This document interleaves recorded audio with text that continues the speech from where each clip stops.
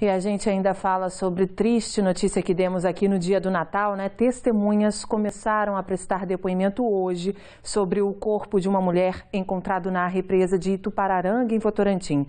Esse caso chamou ainda mais atenção porque a filha da vítima foi abandonada em uma rua de Sorocaba no mesmo dia.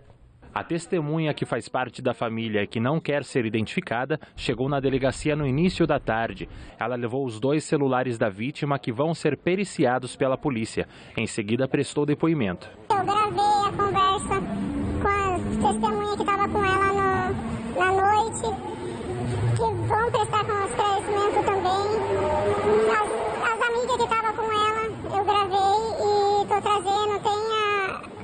do, do suspeito que tá que tava no que levou ela de lá do bairro para cá, para Votorantim. O corpo de Juliana Jovino foi encontrado boiando na represa de Itupararanga, em Votorantim, no fim da tarde do dia de Natal.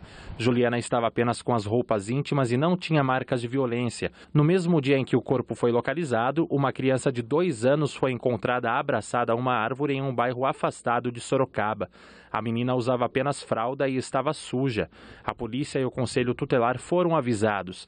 Neste vídeo, a conselheira tenta descobrir o nome da menina. Você chama como? Você chama Juliana?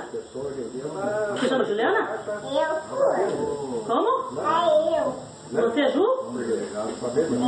Os vizinhos postaram a foto da criança nas redes sociais. Uma tia entrou em contato e revelou que a mãe da menina era Juliana. A criança permanece em um abrigo de Sorocaba. A polícia investiga agora a ligação entre o abandono da criança e a morte da mãe. A gente quer ver o que a justiça tem a dizer, que a justiça se ouve mesmo, justiça, e a gente quer a nossa bebê